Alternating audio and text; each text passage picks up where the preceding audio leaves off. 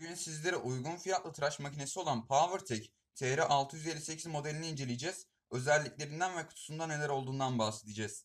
Hadi gelin videoya geçelim. Sıra cihazın kutu açılımında. Hep birlikte kutuda neler var görelim. Cihazın kutusunda bizleri cihazın kullanım kılavuzu, garanti belgesi, kendisi ve ekipmanları karşılamakta ayrıca siyah bir kutunun içinde geliyor. Cihazın görünümü bu şekilde ve ayrıca cihaz normal boyutlardan biraz küçük olsa da ağırlığı ve ele oturması oldukça iyi. Cihazın şarj aleti siyah ve plastik bir görünüme sahip 60 Hz hızda da çalışabilmekte. Şimdi bulunan 3 tane başlığıyla saçınızı 0 ila 3 numaraya kadar tıraş edebilirsiniz.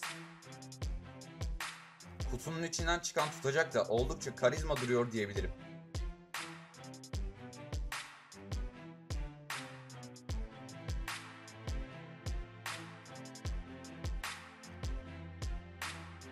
Kutunun içinde bizleri son olarak başlık temizleyici karşılıyor. Bununla da başlığı güzelce tıraş olduktan sonra temizleyebiliriz.